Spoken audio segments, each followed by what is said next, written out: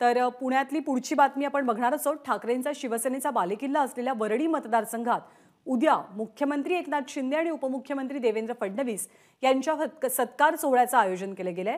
उद्धव ठाकरेंचे चिरंजीव आणि माजी मंत्री आदित्य ठाकरे यांच्या मतदारसंघात शिंदे गटानं ताकद लावली आहे. त्यांच्या वरळी विधानसभा मतदारसंघातल्या मक्तेदारीला आव्हान देण्याचा भाजप आणि शिंदे गटाचा अगदी नेटानं प्रयत्न सुरू आहे. भाजपकडनं वरळीमध्ये विविध सणांच्या निमित्तानं अनेक कार्यक्रम आयोजित केले जातात. याच पार्श्वभूमीवर वरळी मतदारसंघातील ठाकरे गटाचे माजी नगरसेवक संतोष खरात यांना आपल्या बाजूनं वळवण्यात शिंदे गटाला नुकतंच यश मिळालं. वरळी कोळीवाड्यातल्या कोळी बांधवांकडनं आता मुख्यमंत्री आणि उपमुख्यमंत्री यांचा सत्कार आयोजित केला गेलाय. वरळी कोळीवाडा येथील क्लिव्हलँड बंदर भागात मच्छीमार बांधवांच्या बोटींच्या वाहतुकीसाठी एकशे वीस मीटरचा कायमस्वरूपी नॅव्हिगेशन स्पॅन मिळवून दिल्याबद्दल या सत्कार सोहळ्याचं आयोजन केलं गेलंय. संध्याकाळी सहा वाजता एकनाथ शिंदे आणि देवेंद्र फडणवीस यांची सभा सुद्धा होईल. निलेश बुधावले आपल्याला अधिक माहिती देतात.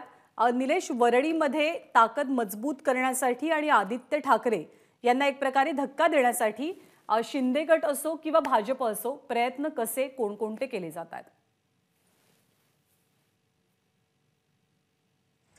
यंदा दोन दिवसांपूर्वी मानखो चेंबूरमध्ये ज्यावेळेस आदित्य ठाकरे बोलत होते त्यावेळेस त्यांना सडकून टीका शिंदे गटावर केली होती. आणि हे सरकार जे आहे हे निवडणुका घ्यायला घाबरत आहे. कारण त्यांना या सगळ्या गोष्टीची जाणीव आहे की ते त्यांचं सरकार पडू शकतं त्यांचे आमदार पुन्हा निवडून येऊ शकत नाही आणि त्यामुळेच निवडणुका पुढे ढकलण्याचा प्रयत्न सातत्यानं होतोय. अशा पद्धतीची ही टीका होती आणि त्यानंतर थेट आव्हान त्यांना मुख्यमंत्र्यांनाच केलं होतं. मुख्यमंत्र्यांना राजीनामा द्यावा मी देखील वरळीतनं राजीनामा देतो आणि समोरासमोर येऊ आपण आणि लढत लढूयात. अशा पद्धतीचं ते आव्हान होतं आणि त्यानंतर कुठंतरी शिंदे गटाकडून देखील प्रचंड प्रमाणामध्ये टीका करण्यात आली होती. आणि याच सगळ्या गोष्टींच्या निमित्तानं उद्या शिंदे गटाच्या वतीनं एका भव्य सभेचं आयोजन वरळी स्पोर्ट्स क्लबमध्ये करण्यात आलेलं आहे. आदर्शनगर परिसरामध्ये जे आदित्य ठाकरे यांच्या मतदारसंघाचं अगदी मध्यवर्ती ठिकाण आहे त्याच ठिकाणी ही भव्य सभा पार पडणार आहे. आणि या सभेसाठी जोरदार तयारी करण्यात आल्याचं पाहायला मिळतंय. हजारो खुर्च्या सध्या या ठिकाणी आणण्यात आल्याचं आपल्याला पाहायला मिळतंय.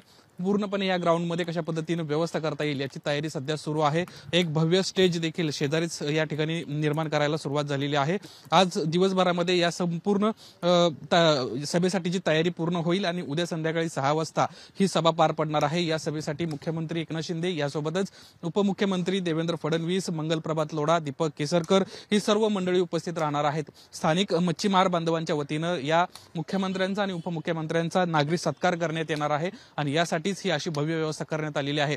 ज्या पद्धतीनं आदित्य ठाकरेंचं आव्हान होतं त्याला कुठेतरी प्रत्युत्तर देण्याचा प्रयत्नच या निमित्तानं होताना पाहायला मिळतोय. कारण वरळीत ही एक भव्य सभा होते आणि यासाठी मुंबईसह उपनगरामध्ये मोठमोठ्या प्रमाणामध्ये फ्लेक्सबाजी देखील करण्यात आल्याचं पाहायला मिळतंय.